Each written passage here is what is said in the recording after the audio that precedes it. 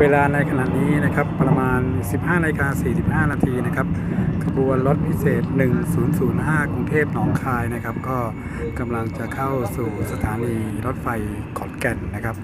ที่สถานีรถไฟขอนแก่นตอนนี้ก็มีการก่อสร้างแล้วก็มีฝนตกนะครับอะน้ำท่วมครับน้ำท่วมหลายที่ด้วยกันนะครัรายงานสดโเฉพะน้ำท่วมครับที่สถานีขอนแก่นนะครับนี่ครับน้ำที่ท่านได้เห็นก็คือ จากน้ำฝนที่ตกมาเมื่อสักครู่นี้นะครับผม ทั่วๆไปนะครับที่สถานีรถไฟ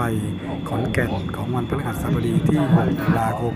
พุทธศักราช 2559 เวลาโดยประมาณก็ 15นาฬิกา40